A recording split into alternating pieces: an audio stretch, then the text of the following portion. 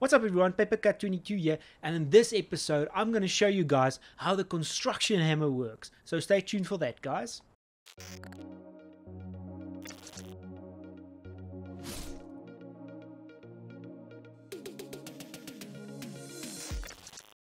Alright guys, so you're probably wondering what the heck is a construction hammer? Now guys, this is different to the repair hammer. With the construction hammer, you construct your buildings now. You no longer do it out of your hand or out of your inventory or out of your hotbar, if you will. What you do now is you construct a uh, a construction hammer. Let me show you. So you go to the knowledge tab, right? And you need to be at least level 2 in order to do this. Then you learn the feat or the knowledge apprentice mason because they changed feats to uh, knowledge. So you learn the knowledge apprentice mason and then you'll be able to construct a construction hammer in your inventory. Right, let me show you. Uh, so you type in construction. You probably have less than I have now, but I'm in admin, so I can show you guys what it looks like. Great.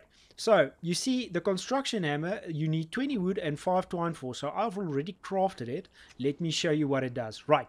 So once you have the construction hammer equipped, you press F on the keyboard. And here you have building pieces, crafting stations, decorations and under each one you get beds storage lights special you know you get different tabs for each thing under each section which is pretty awesome. It's so so organized because previously if you wanted to do the Aquilonian you had to scroll down all the way in order to find the correct thing. Now all I need to do is go to the Aquilonian and I've got all the Aquilonian things under one tab. This is so awesome. So let me quickly show you. Say for instance I want to place this sandstone. I just simply select it. Shift is still picking it up and loading it down and rolling your mouse wheel will still change the angle at which it's placing.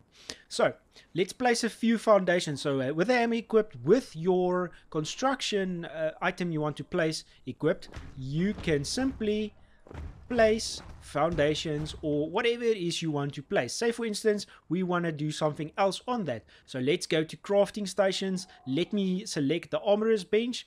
Boom you can place the armorer's bench. Okay, but now what if we want to delete it? Now this is another spot where they thought of uh, in advance or something they betted on. So let's right click our mouse and you go into a delete mode. So now you can simply left click and delete everything you built. How quick and easy and simple is that now? So guys, that is how you use the construction hammer. There's going to be loads more um, how-to videos in Conan Exiles for the next upcoming month or so, or even for the next upcoming year. Um, I'm going to do redo all of my how-to videos, and I'm going to show you guys new stuff as well. Please like, comment, share, and subscribe, and tell me in the comment section if you think the latest update in building is going to help you out to build the best place you can. Cheers, everyone.